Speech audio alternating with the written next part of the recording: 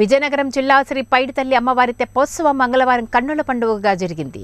విద్యుత్ దీపాలతో అలంకరించిన హంసవాహన పడవపై అమ్మవారి విగ్రహాన్ని ఆమె జన్మస్థలం పెద్ద చెరువులో మూడుసార్లు ఊరేగించారు. ఈ కార్యక్రమంలో Vizianagaram mayor Vempadapu Vijayalakshmi deputy mayor Kolagatla Sravani joint collector revenue doctor GC Kishore Kumar అమ్మవారి ఆలయ పూజారి బంటుపల్లి వెంకట్రావు ఈవో కిషోర్ కుమార్ మత్స్యశాఖ డీడీ నిర్మలా కుమారి డిఎఫ్ఓ మోహన్ రావు ఇతర అధికారులు ఆలయ సిబ్బంది పాల్గొన్నారు.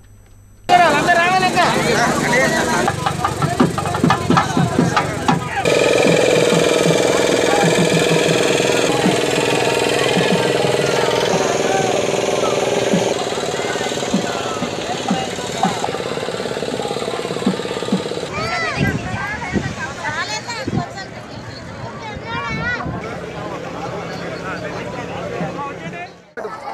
పద్దెనిమిది పంతొమ్మిదో తారీఖున మనం శ్రీ శ్రీ శ్రీ పైడితల్లి అమ్మవారి సినిమానోత్సవాన్ని జరుపుకున్నాము.